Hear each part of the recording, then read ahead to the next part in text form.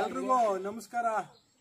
ಎಲ್ಲ ರೈತ ಬಾಂಧವರಿಗೂ, ಹಾಗೆ ಯುವಕ ಮಿತ್ರರಿಗೂ, ಎಲ್ಲ ಮಾತೃ ಸಮಾನವಾದ ಮಹಿಳೆಯರಿಗೂ ನಮಸ್ಕಾರ ಸಲ್ಲಿಸುತ್ತಾ, ಇದೀಗ ನಾಳಿನ ಸಭೆಯನ್ನು ಆಯೋಜಿಸಿರು ಆಯೋಜಿಸುತ್ತಿದ್ವಿ ದೊಡ್ಡಮದ್ರೆ ಕೆರೆಗೆ ಹೇಮಾವತಿ ನೀರನ್ನು ಹರಿಸುವ ಬಗ್ಗೆ ಒಂದು ಸಭೆಯನ್ನು ಏರ್ಪಡಿಸಿದ್ದೀವಿ.